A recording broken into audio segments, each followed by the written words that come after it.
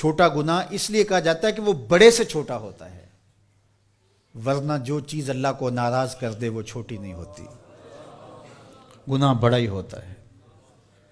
जो अल्लाह की नाराज़गी का सबब हो, वो छोटी चीज़ नहीं है, वो बड़ी चीज़ है। तो जो गुनाह सगीरा कहा जाता है तो उसका मतलब यह है कि बड़े की नस्बत से छोटा है। तो जो छोटा अजाब कहा गया तो छोटे अजाब से मुराद, जो बड़े की नस्बत कम दर्जे का है।